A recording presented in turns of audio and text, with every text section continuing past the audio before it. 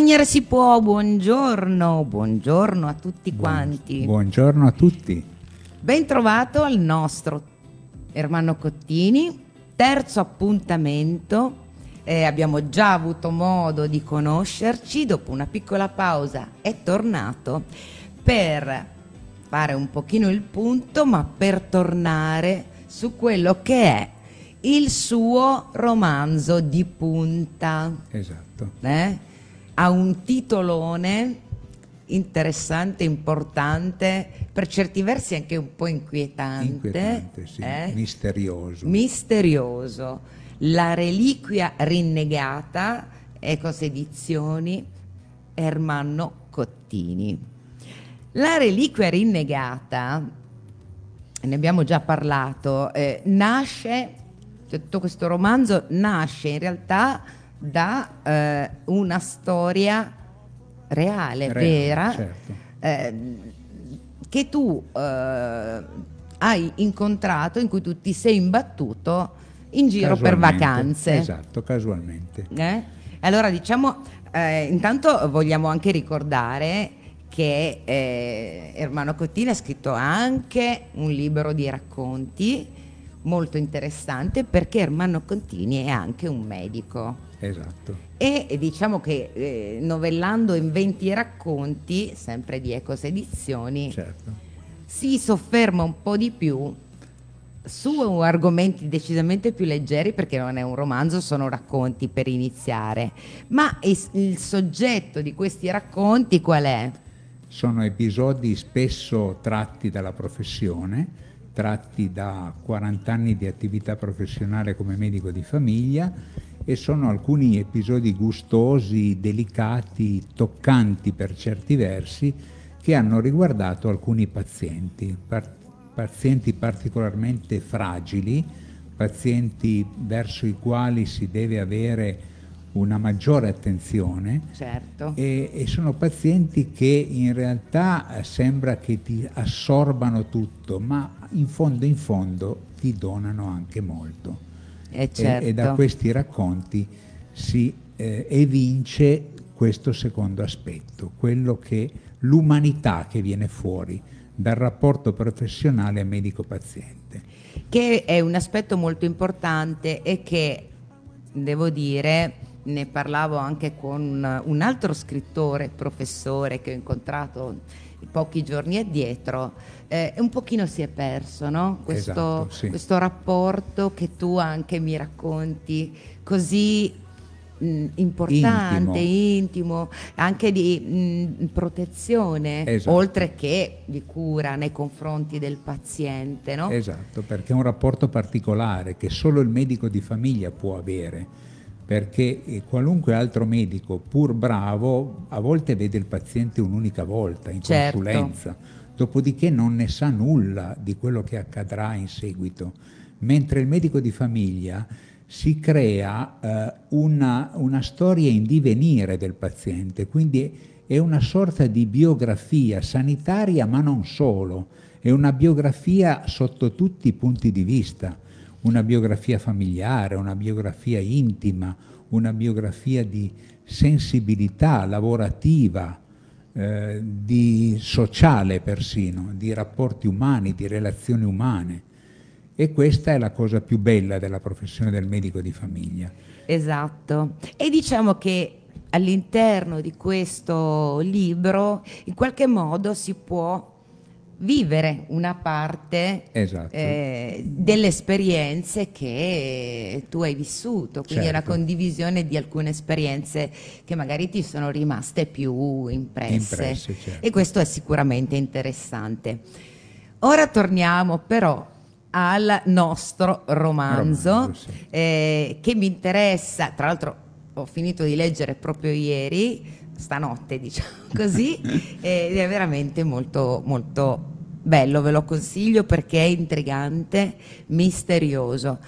Ci torniamo subito, intanto prima di tutto io voglio eh, ringraziare tutti gli ascoltatori di Sognare si può, quindi vi ringrazio perché siete tanti e ci seguite e grazie di cuore.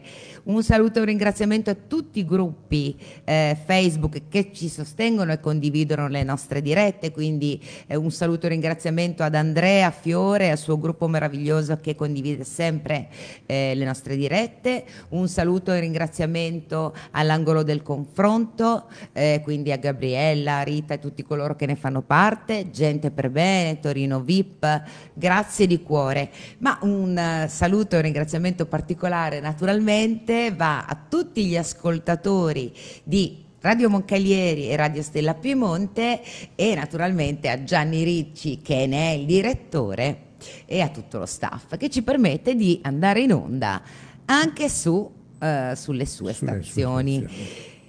Fatto questo, io direi che possiamo tornare a um, raccontare un pochino, solo un sì, pochino, un chiaramente pochino. perché eh, naturalmente cercheremo di non svelare troppo, perché la bellezza di questo romanzo sta proprio nello scoprire un passo avanti all'altro tutti questi accadimenti davvero particolari che eh, da un certo punto in poi della storia, fino a un certo punto la storia abbiamo detto è accaduta. Esatto. E tu ti sei incappato, sei incappato in questo paesino delle Marche No, nel Lazio. Nel Lazio, nel Lazio è già nel sì. Lazio? Sì, sì, sì. Quindi sì, questo sì. paesino nel Lazio, ho sbagliato? A Calcata, esattamente. Ah, eh, mi sono confusa con un altro in, pezzo di In provincia di, di Viterbo. Sì, sì, sì, sì, assolutamente sì, hai ragione. A poche decine di chilometri da Roma, questo è un bellissimo paese Calcata, Calcata Vecchia precisamente, perché c'è Calcata Nuova che è la, il comune che è stato uh, costruito subito a valle essendo eh, stata giudicata pericolosa la, la, permanenza in Calcata Vecchia dal punto di vista sismico eh, giudicato a rischio. Attualmente di fatti la, la, maggior parte degli abitanti vive a Calcata Nuova. Calcata Vecchia poi è stata eh, riconcessa ad alcune eh, realtà, per lo più turistiche, commerciali e artistiche, che la popolano e ne danno una vita dal punto di vista turistico significativo, che un po' ricalca quello che era stata la vecchia notorietà di Calcata grazie alla sua reliquia. Questa, esatto. questa reliquia che è questa stata reliquia, venerata, esatto. celebrata per secoli fino al 1983 quando improvvisamente la reliquia viene rubata. Ma e, questo, qui, è, e questo è questo è reale, eh? è documentato. È, è, reale. Voglio fare un saluto al volo alla dottoressa Patrizia Valpiani, grazie per essere con noi. Sì, e, ehm, caro saluto. E quindi, insomma, eh, questa è storia, quindi ci sono documentazioni, cioè, ci sono stati eventi, eventi tra l'altro, fino a quel momento. Che, che troverete certo... nelle appendici, ci sono due appendici alla fine del romanzo che fanno il punto dal, dal punto di vista storico e bibliografico sulla vicenda. Però eh. da quel, punto, da quel eh, momento in poi eh, si, si, susseguono degli accadimenti, degli accadimenti. in questo romanzo. Eh, come mai questa reliquia è stata rubata? E fin qui ci, ci sta, ci sta tutto, perché è un, un, reliquiario prezioso, un furto di opera d'arte, così è stato liquidato eh, tutto subito. Ma in realtà eh, la cosa più inquietante è che viene posto il veto su, sulle indagini. E cioè, questa già eh, è, una notizia, è, una notizia che in qualche modo sì, esatto, eh, ci, cioè. ci, ci, incuriosisce, ma perché non si possono fare le indagini? Tra l'altro ricordiamo, per chi non ci avesse seguito nelle altre puntate, che questa reliquia preziosissima non è una reliquia qualunque, perché parliamo eh, di qualcosa di eh, umano. Di umano, sì, di una Mentre, particella umana. Esatto, mentre eh, le reliquie spesso, eh, religiose spesso sono eh, oggetti, oggetti, scheggi, chiodi, eh, non so, spine abiti, spine, esatto. Mm, in questo caso noi abbiamo, abbiamo una a che fare organica, organica- reliquia organica. è organica e È imbarazzante. imbarazzantissima perché? Perché? si tratta della reliquia del prepuzio di Gesù Cristo. Quindi è evidente che stiamo parlando di un argomento imbarazzante, inquietante, per Inquietante. certi versi, perché ricordiamoci che nel 1983, eh, più o meno, Sì. e eh, insomma venendo verso eh, Di noi, in- certo, verso di noi, verso il periodo attuale, eh, ma comunque in quel momento stava, eh, come in qualche modo, si stava sviluppando una teoria abbastanza discutibile, Discutibile, discussa. sì. Eh, no? Parliamo delle- della delle clonazione, clonazioni, le quindi vabbè c'era la, pe- c'era la pecora Dolly, insomma ci sono stati vari esperimenti. Ciao Lucia, Lucia Simone, un grande abbraccio a te. E per cui insomma eh, viene spontaneo anche pensare con un po' di Come mai? malizia Certo, come mai? mai questo... questo... Queste indagini non si possono fare. Esatto. Forse la scomparsa della reliquia faceva comodo a qualcuno? E a chi, se non al Vaticano, che è stato in prima persona a porre il veto che se ne parlasse? E, questo veto vale ancora tutt'oggi. Quindi eh, persino il Touring Club italiano ha avuto una diffida eh, sul fatto di poter citare la reliquia come una delle attrazioni di Calcata. Sì, E- e questa è in realtà, eh? Questa è realtà ed è quello che ha fatto scaturire in me la curiosità e ha fatto accendere la lampadina della fantasia, della narrazione. Eh, certo. A questo punto, diciamo, ci sono, eh, chiaramente si susseguono tutta una serie di, eh, di eventi, Di eventi. di scoperte Di scoperte. durante la lettura. Ci tengo anche a sottolineare che eh, il, il tuo modo di scrivere questo romanzo è piuttosto originale, perché parliamo di un certo numero di capitoli, 33, 33. eh, che eh, in qualche modo sono chiaramente, seguono un filo, però ogni, ogni capitolo si conclude sì, si praticamente, conclude. sono episodi a sé stanti sì, esatto. e questa è anche una particolarità Certo. piuttosto curiosa. Curiosa, sì. no? E, e poi parliamo di una certa numerologia che si ripete. che è quella del numero 3. 3 come la Trinità, la Trinità sacra, che in questo caso è una Trinità orizzontale che è riprodotta nella copertina. Sì, nella copertina del libro, in effetti, Troverete un affresco, un affresco che è qui in Piemonte, in più località del Piemonte. Nella fattispecie questo è l'affresco che c'è in facciata all'ospizio della Trinità di Valgrana, nell'omonima valle del Cuneese, poco distante da Caraglio. Questo ospizio della Trinità eh, è una costruzione eh, di metà 400 che dava ospitalità ai pellegrini lungo la via Francigena. E eh, in facciata questo affresco è stato eh, eseguito dai fratelli Biazzacci che era una coppia di fratelli originari di Busca, sempre nella- nel Cuneese, che eh, vivevano, eh, si automantenevano facendo eh, queste opere d'arte su commissione o da parte di parroci o da parte di privati su determinate costruzioni.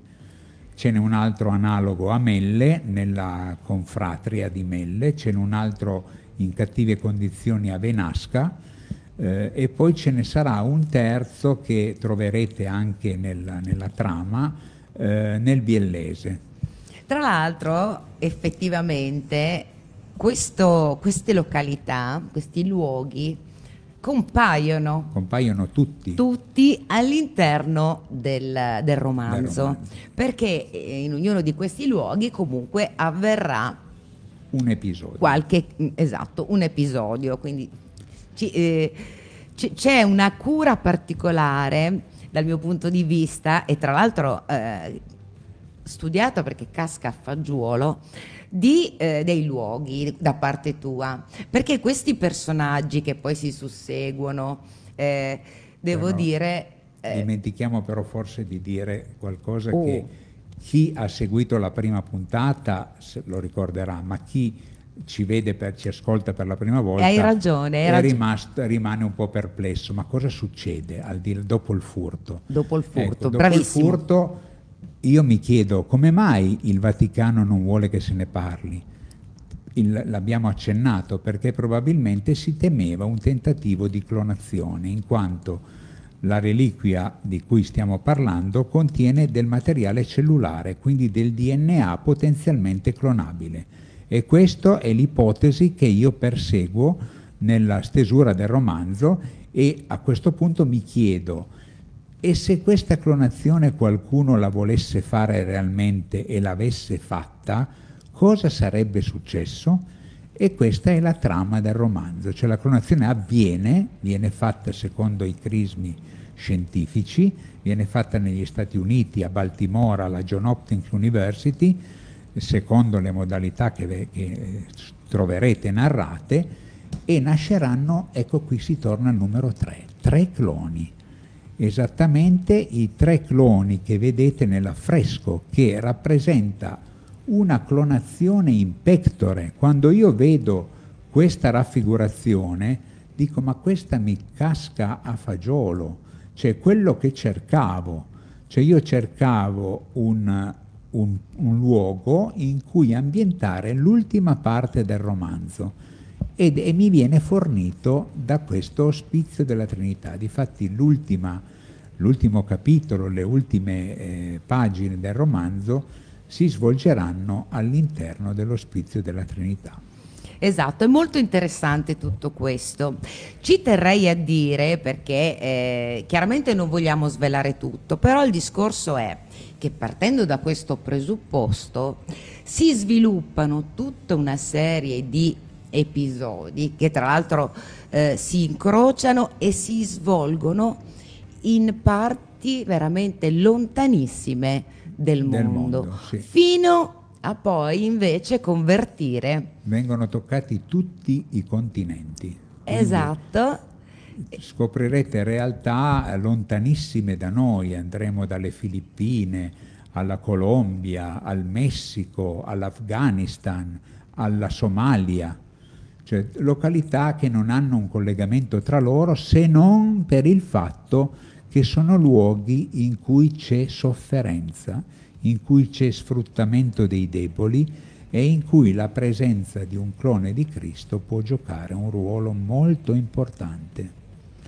Esatto, e siccome parliamo di un giallo, è evidente che eh, in qualche modo noi diamo per scontato, ma dovrete scoprire chiaramente che cosa accade che si consumerà comunque, comunque sì. Poi, un omicidio. Sì, in, e quindi tutto si concluderà tutto, in Italia, esatto. E quindi noi eh, diciamo la, la, il fascino di questo giallo, di questo racconto intrigato, eh, un po' eh, come dire, eh, un po' in sospeso tra in passato, sospeso, presente sì. e futuro, perché tra l'altro eh, part- un'altra delle particolarità di questo romanzo è che partendo dal passato appunto, sì, dal, 1527, da, dal 1500, dal sacco di Roma, passerà da, no, da quello che per noi è il presente per arrivare in un futuro. In un futuro, in un futuro non lontano, ma in un futuro che si compierà in 33 anni dall'inizio della clonazione avvenuta nel 2000 esatto, si, si, finirà nel 2033 e qui torniamo al fil rouge del numero 3. Della numerologia, della esatto. numerologia, perché esatto. 33 saranno i capitoli, 3 sono i cloni, 3 sono le madri, 3 sono le parti, per cui c'è una prima parte, una seconda parte e un epilogo. È e... tutto giocato sul 3 e gli episodi che toccheranno, che vedranno protagonisti i tre cloni, saranno tre per ogni clono, ripetuto tre volte. Esatto, questo numero tre che torna spesso condiziona eh, in realtà tutto lo svolgimento del romanzo. Esatto. Tra l'altro eh, viaggiare con te è estremamente interessante perché sembra realmente di essere nei luoghi che tu descrivi, talmente sono i particolari eh, che ci mostri, che certo, ci descrivi. Certo. Come mai? Come sei riuscito a fare questo? Perché tu sei andato letteralmente, letteralmente a studiarli e a vederli. A studiarli e a vederli con Google Maps, con le visite virtuali, cioè l'aeroporto ad esempio di Baltimora è stato da me visitato virtualmente, eh, lo stesso l'ospedale della John Hopkins University è visitato eh, nel dettaglio è descritto dettagliatamente, lo stesso episodio che si svolge nelle Filippine, c'è un viaggio attraverso alcune isole, quindi anche lì sono stati valutati i percorsi, gli attraversamenti dei, tramite i traghetti, i tempi necessari per compiere queste, questi trasferimenti. Sono tutte cose non casuali e verificabili. Assolutamente sì. Un'altra particolarità eh, sono, eh, è anche l'attenzione con cui tu hai studiato e quindi ci riproponi tutta una serie di pratiche che vengono realizzate, certo. tutti, ci sono diciamo dei, eh, non vogliamo dire tantissimo, ma comunque ci sono delle eh, operazioni, de, de, anche delle, uh, degli spostamenti, dei riti che eh, vengono effettuati e tu hai studiato nei particolari certo. anche tutto certo, questo. Certo. Quindi insomma all'interno dei conventi, degli spazi, de, esatto. de, de, dei, mh, mm, è proprio tutto eh, veramente realistico. Certo, l'ambientazione conventuale è stata verificata da me personalmente nella Certosa di Pisa con una visita dettagliata nelle cellette eh, dei monaci cistercensi quindi quello che scoprirete sui dettagli di come, era costituita la cella, di come si poteva verificare la presenza o meno dell'occupante all'interno della cella, sono tutti particolari, non inventati, ma sono reali. Esatto, e eh, questo ci permetterà, come è accaduto a me stanotte, di avere voglia di entrare, di vedere, di scoprire e ci sembrerà anche a noi di aver messo l'occhio. Esatto, attraverso lì, uno spioncino a, eh, particolare, quello... uno spioncino di pietra, non lo spioncino dei nostri giorni. Certo. Perché nel romanzo troverete un accostamento tra moderno, tra eh, tecniche di clonazione ultramoderna, genomica, eccetera, proiettato addirittura nel futuro, con invece una metodologia criminogena e criminale che risale al Medioevo e che quindi l'ambientazione potrebbe essere quella del nome della rosa, ad esempio. Cioè, esatto, no, è estremamente intrigante. La stessa arma del delitto non, non, la pote, non l'avete mai è trovata. Inimmaginabile, è inimmaginabile. È inimmaginabile, tra l'altro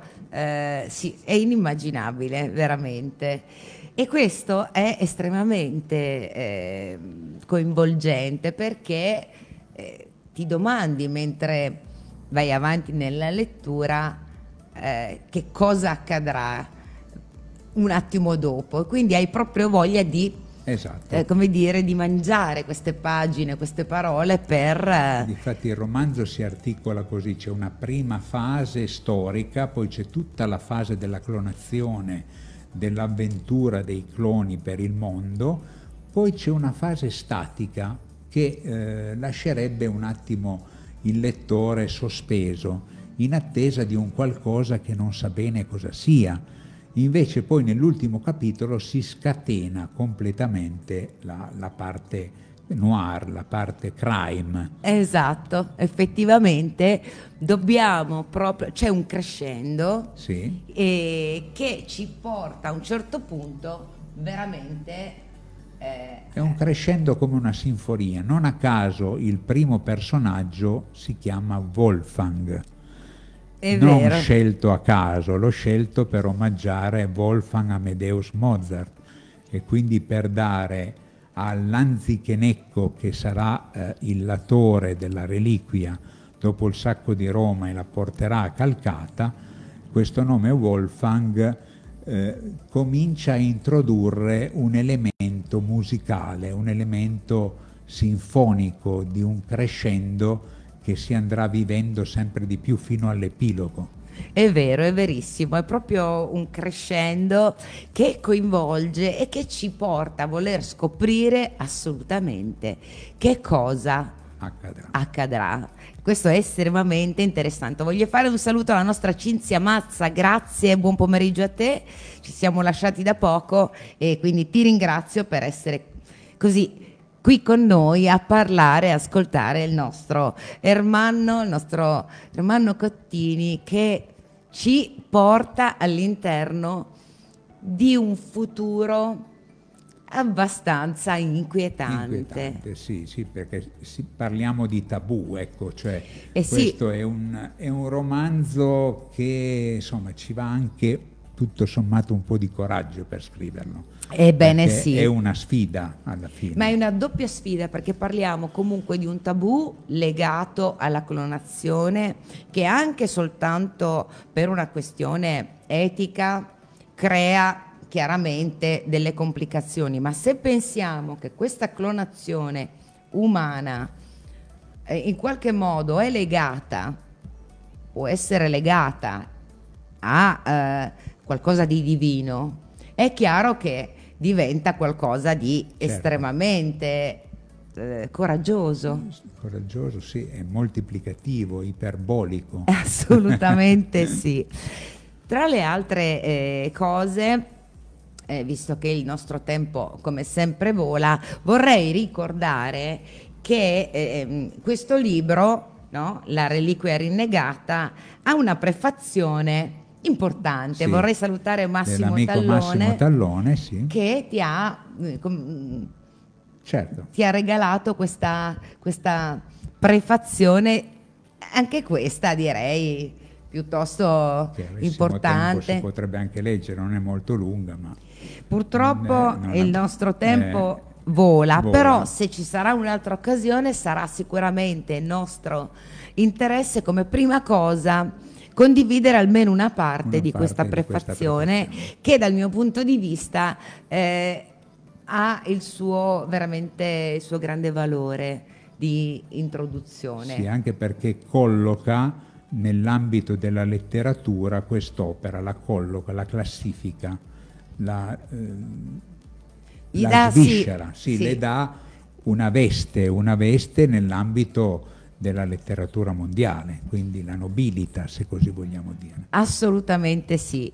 Il nostro tempo è volato, la nostra mezz'ora è veramente scivolata via, ci sarebbero ancora tante cose da dire. Ci siamo un po' trattenuti, chiaramente, visto il tipo di romanzo, per lasciarvi la curiosità di, di scoprire leggerlo, attraverso la lettura eh, tutta l'emozione, tutto il fascino di questi episodi eh, per andare poi a scoprire che cosa accadrà Dovete nel finale. Leggerlo. Quindi dovrete assolutamente... Lo potete trovare in, prenotandolo in qualunque libreria oppure lo potete trovare sul sito dell'editore Ecos Edizioni di Giaveno oppure in tutte le librerie online, su Amazon, su, su tutte le piattaforme, certo. Mondadori, eccetera, ve lo porteranno a casa nel giro di due giorni. Quindi mi raccomando, non perdete non perdetelo, non potete non perdete perderlo. tempo, eh, visto che le vacanze sono diciamo così, è l'ideale per in una arrivo, lettura, una magari sotto l'ombrellone, perché no? Io vi ringrazio per Grazie. essere stati con noi, Grazie ringrazio Ormanno profondamente per questo bellissimo libro, questa certo. bellissima occasione di lettura.